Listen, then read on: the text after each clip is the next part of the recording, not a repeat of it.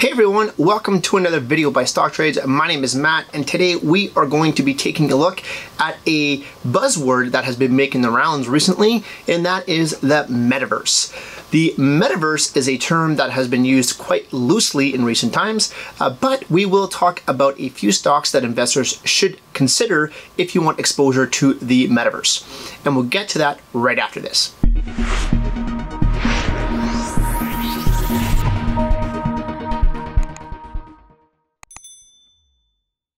Before we jump into looking at the investment themselves, let's take a step back and describe what is a metaverse. Well, the terminology, as mentioned, was first conned in a book called Snow Crash. And in that book, it referenced the concept of individuals and people interacting with each other in a virtual world through the use of avatars. If that sounds familiar, it should, because there are many gaming platforms today that do that very thing. Now, that was a little bit uh, think Ready Player One, if you will, that movie. Uh, that is the ultimate metaverse where you throw on a pair of virtual reality goggles and all of a sudden you're immersed in this virtual world.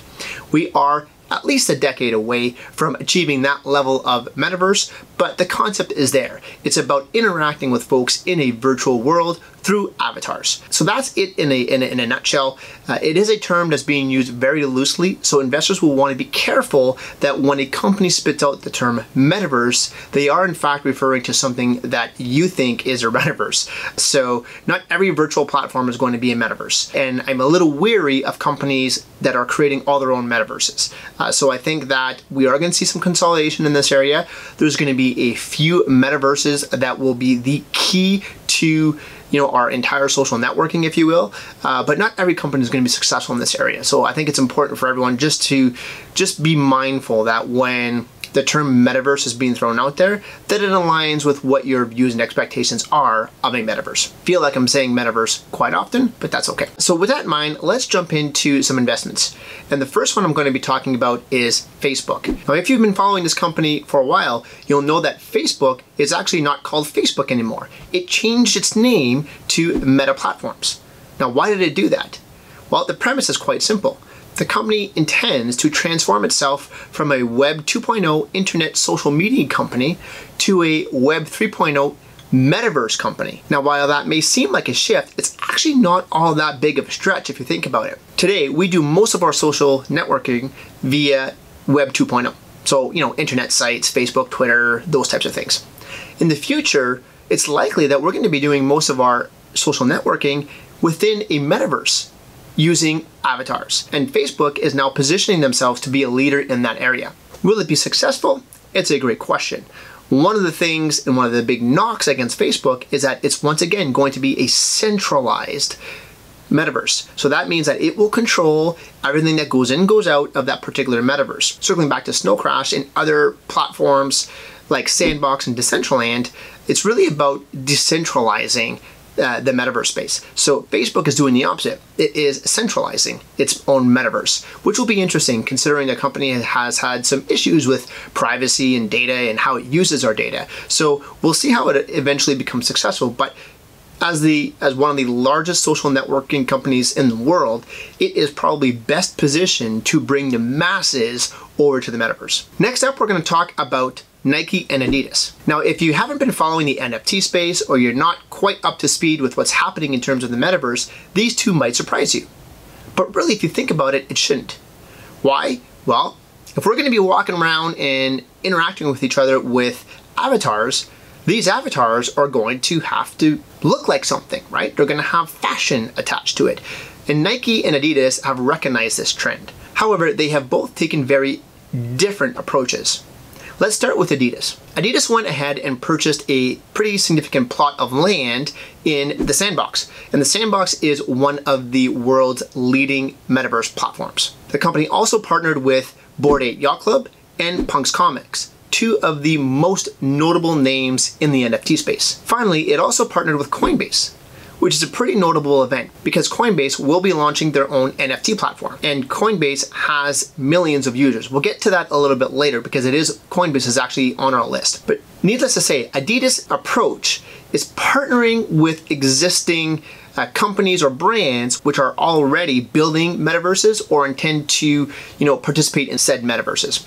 So that's Adidas's approach. It's also worth noting that the company recently launched its own NFT through Adidas Originals, where holders of said NFTs can actually claim and exchange for an actual Adidas product and or uh, will be eventually be able to use outfit their avatars, if you will, with Adidas merchandise. So that's a very interesting thing, and I believe, and Adidas is one of the first fashion brands to launch their own NFT product. It'll be interesting to watch. Adidas Originals have really focused on the NFT space, and as it stands, Adidas is a leader in this area. Nike's approach is entirely different well, it recognizes that people are going to want to, you know, wear the best fashion brand, and Nike's brand is one of the top fashion brands in the world. RTFKT Studios was an emerging Web3 company which was designing highly sought after wearables for the metaverse. But what Nike did is they bought them outright. So now instead of being, you know, owned by the community and more of a decentralized organization, even though it wasn't, it was still owned by RTFKT Studios. Instead, going about it themselves, they decided to sell to Nike. Now in the Web 3.0 crowd, that didn't go over too well. Uh, a lot of individuals called them sellouts and whatnot to the big company, uh, you know, conglomerate, if you will. However, there's no denying that what they're doing in this space is pretty impressive. And Nike recognized this and now it gives Nike a pretty significant reach in the NFT space and consequently the metaverse space. So the difference here is that Adidas has partnered with existing brands, existing metaverses, whereas Nike went ahead and bought an existing brand. So you see here how they are two different approaches. One's more of a centralized approach, and one is more a company looking to work within a decentralized approach. While their products and whatnot will continue to be centralized under the Adidas brand, they are working more so with decentralized organizations. Whereas Nike went outright and bought its own, you know, Web 3.0 company and is likely going to be centralizing and controlling all of that. So it's going to be interesting how this all fleshes out. And what will be the best model will you know take years to actually figure out. But it's important to note that both of these companies, Adidas and Nike, I would say are at the forefront of the fashion industry in terms of the metaverse. Next, we're going to talk about Coinbase and GameStop. I consider these to be fringe plays on the metaverse. However, they may yet play a very important role in terms of infrastructure. I say may because neither of these companies have launched a product yet. Well, all they have done is announce their intentions to. So in the fall, Coinbase announced that it was going to launch its own NFT marketplace. And I'm not going to go into great details about NFTs because that warrants a whole other video on its own and it's a very pretty complicated subject. Suffice to say that NFTs are digital representations of assets, right? So think of if I'm wearing my stock trades hat in the metaverse, that stock trades hat is going to be a digital collectible, if you will, and that takes the form of an NFT, non-fungible token. So that's pretty much all I'm going to say about NFTs, and maybe at some point in time we'll do a video on NFTs. Uh, but for now, just keep in mind that NFTs are digital assets, and they need a platform for individuals to buy and sell those digital assets. This is where Coinbase comes in and GameStop. So for now, there are a couple of platforms out there, OpenSea being the largest platform. They have about a million active users uh, right now, today. There are other platforms out there such as Rarible, Foundation, SuperRare. There's a few different ones out there. Nifty Gateway, uh, one that just launched, LooksRare, but no platform has really brought in the masses as of yet. That is why everyone is very excited for Coinbase. To put things into perspective, Coinbase has 73 million global users. As mentioned, OpenSea has about a million users, but it only has about 300,000 active wallets on a monthly basis. So bringing 70 million new users to the NFT space is pretty impressive. And there's a lot of folks in the NFT and Web 3.0 industry that are just waiting for Coinbase to launch this NFT marketplace. The anticipation is that once Coinbase launches, the masses are going to flow into the NFT space. And subsequently, they'll flow into the metaverse metaverse such as Sandbox, Decentraland, as mentioned, are, are, probably the two biggest ones right now, but there are a plethora of other metaverse platforms that are currently being created. So it's not just limited to those two, but those are the two largest at this point in time. So there needs to be infrastructure to be able to buy and sell your assets, your digital assets, and that is where a platform like Coinbase will come into play.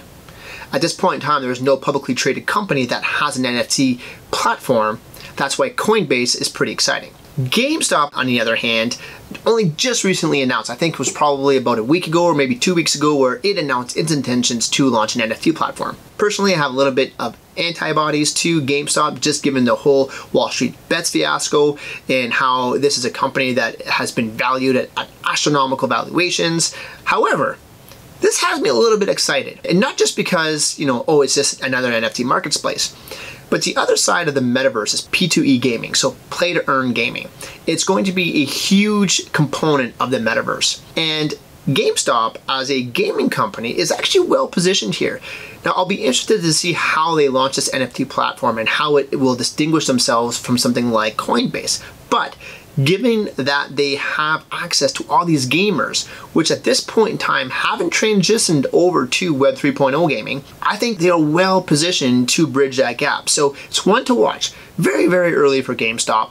And once again, it's going to be one you're going to have to monitor because of the involvement of Wall Street bets and because of all that stuff that happened in early 2021. But cautiously optimistic with GameStop because I think they are well positioned to bridge the gap between traditional gaming and gaming in Web 3.0 and ultimately the metaverse. Two other companies worth considering here are Roblox and Epic Games. Epic Games being the parent company of Fortnite.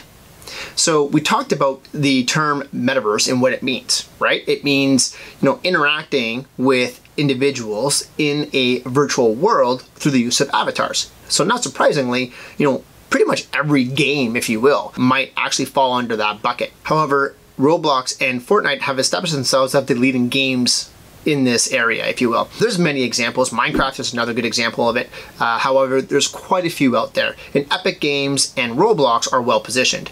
Roblox actually is one of the largest gaming companies in the world. It actually has more than 47 million user daily users on its platform and has 10 million developers, which create new worlds all the time. So it's kind of a very interesting model. Once again, however, Fortnite and Roblox are both centralized, Whereas the trend at this point in time is more towards decentralized. So it'll be interesting seeing how, you know, traditional gaming companies kind of you know, adapt to Web 3.0 and decentralized aspect of it.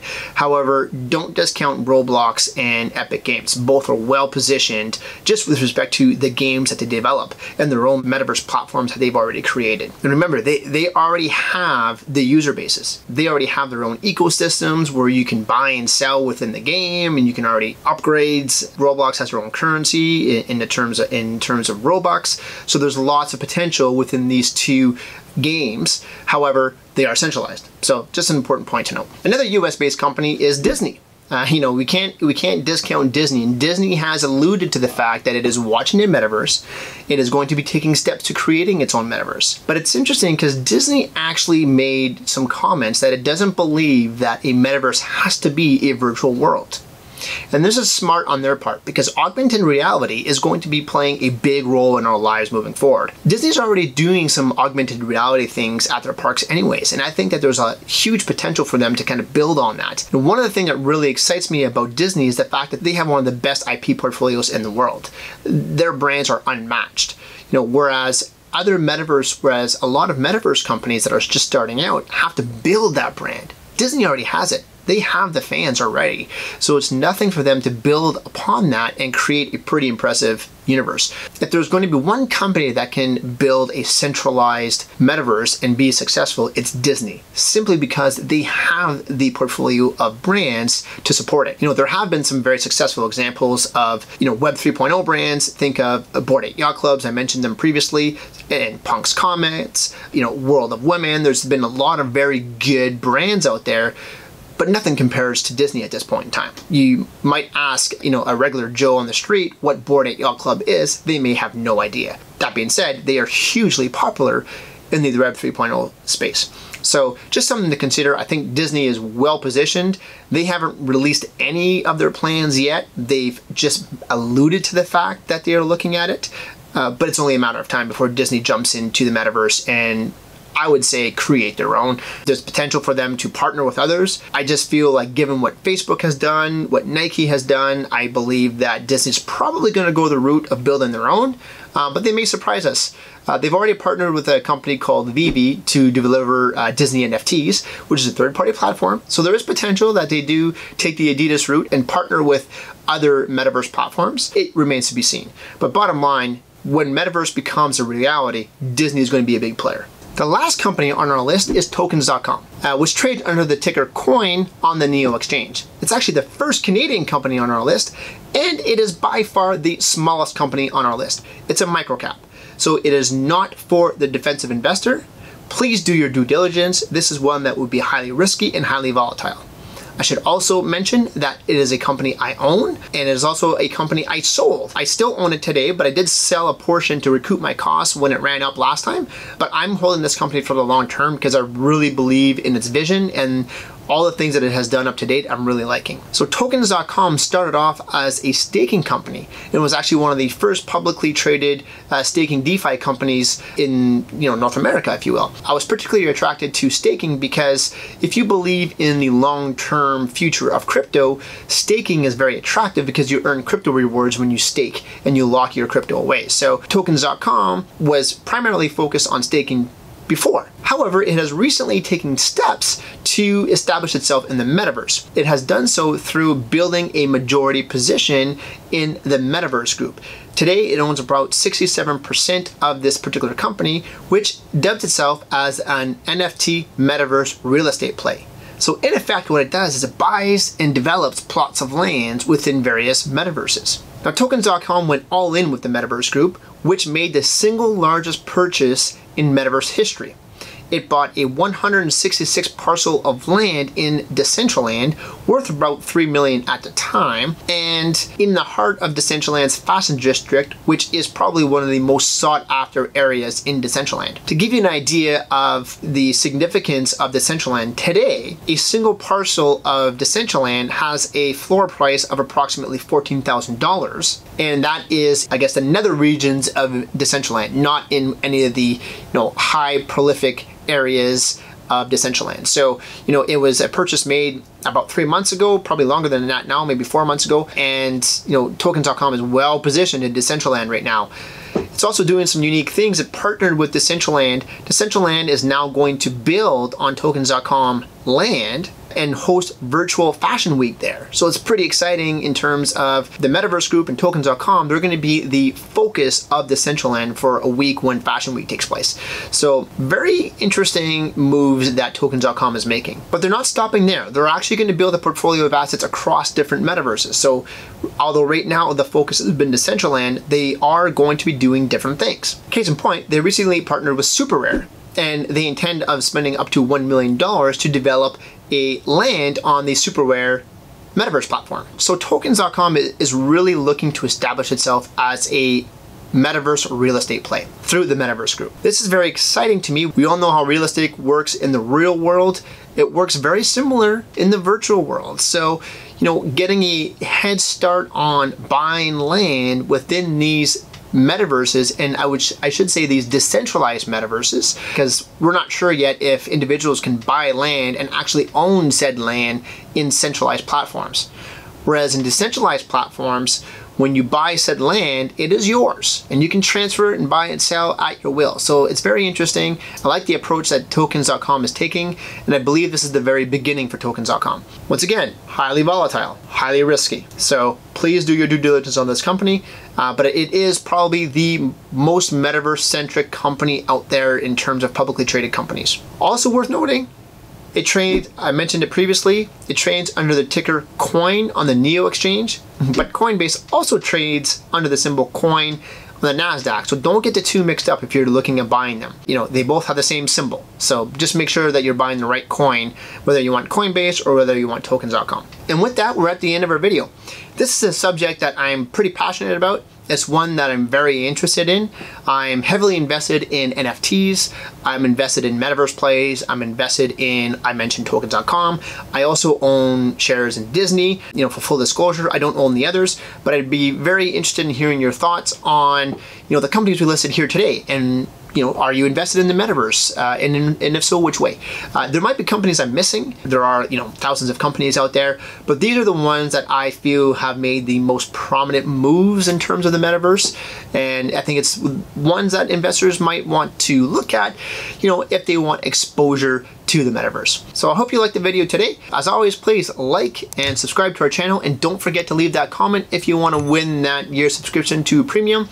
If ever you want to know what Premium is all about or feedback that we received from our Premium members, you can always check out trustpilot.com, which is an independently uh, verified review site. You know, we'll let our members speak for themselves in terms of our Premium platform, but you can't win if you don't comment. So comment below and, you know, hope you like the video and we'll talk to you next time.